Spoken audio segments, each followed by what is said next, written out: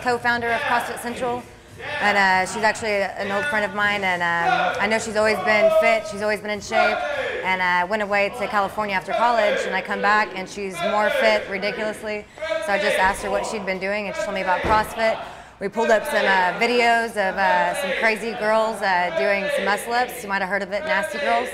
Um, and I was just blown away and didn't think I could ever do it, but she kept calling me and calling me and said, you know, come try, come try it out.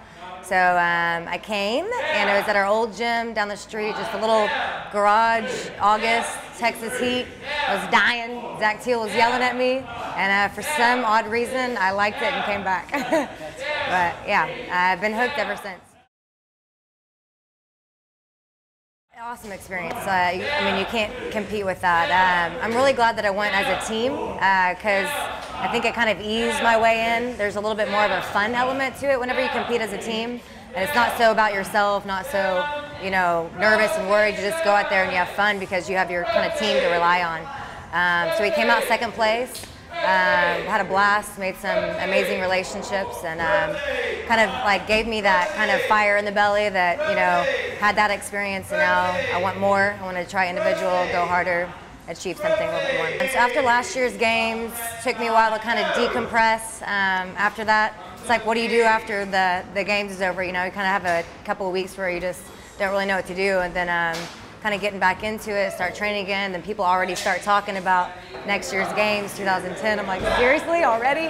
Um, but yeah, like I said, it just kind of left me with that that urge to go after something more, to you know, to not be scared of being great, like to step out of my comfort zone, um, demand more from myself, um, just to get out there and like really compete. Because in 20 years, when you look back at your life, you can be like, damn, I did that, you know.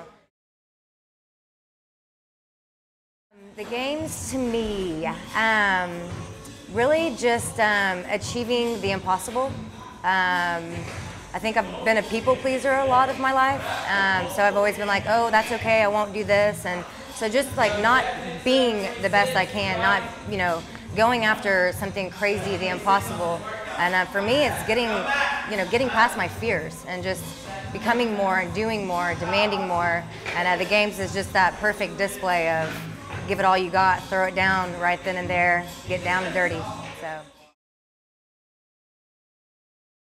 So. Um, be pretty cool to compete against my own Carrie Kepler. uh, she's a beast, and I uh, I get to work out with her every now and then. Um, but I think just being in competition alongside of her would be uh, pretty cool.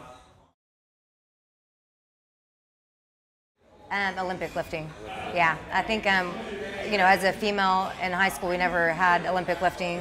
Um, I did a little bit of gymnastics as a kid, so that's the most new thing to me, and it just feels empowering, just to like rah, throw you know weight over your head from the ground, and yeah, I like that. It's, it feels powerful and empowering. So eight weeks, yeah, seven and a half, eight weeks uh, from regionals, um, sectionals. Uh, loved it, had a blast. Came out second.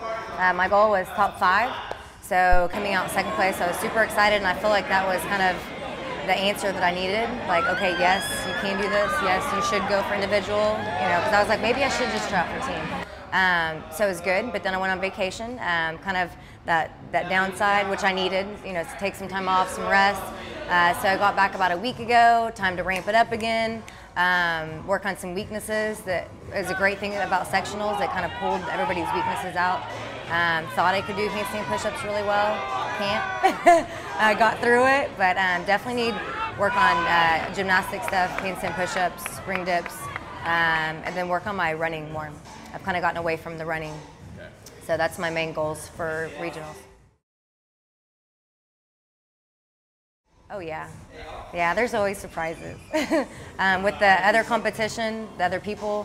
There'll be some people that come out of the woodworks. Um, as well as like what the workout might entail. They're always, you know, that's what CrossFit is, the unknown and the unknowable. At CrossFit Central in Austin, Texas, and my name is Jessica Sharratt.